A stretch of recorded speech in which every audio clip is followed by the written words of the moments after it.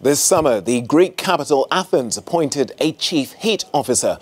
Her task is to consider ways of cooling the city down as rising temperatures continue to set new unwanted records with increasingly deadly results. Well, Eleni Myrivili is the first person in Europe to hold such a title, and she joins us now from Athens to talk about her plans to change life in the city. Well, thanks for taking time to speak to us here on the programme. You've described heat waves as the silent killer. Um, give us a sense of how serious a problem they are, especially in urban areas.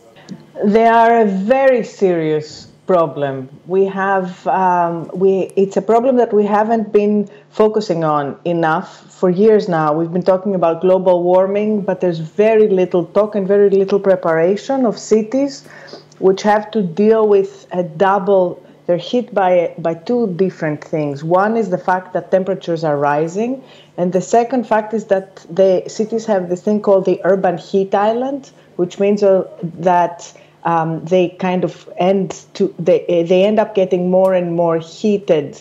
Um, uh, they basically deposit heat in their hard surfaces, so they.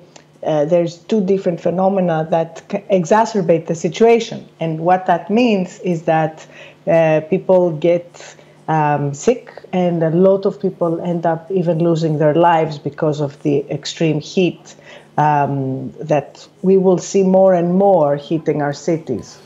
So, how do you fight against this?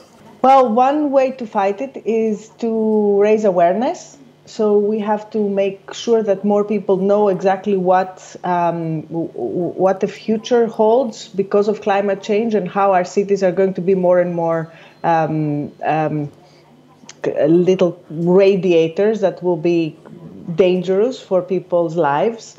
And um, the other thing is to put uh, emergency measures um, uh, so that when the heat waves actually happen, uh, we are ready to, pre- especially to protect the most vulnerable. And the third uh, issue is how do we build a city that is cooler? How do we start making sure that every aspect of uh, the um, landscape of a city, all of its surfaces, everything that we do um, and we build into the city from this point or onward, at least, um, mitigates heat, makes sure that it makes cities cooler.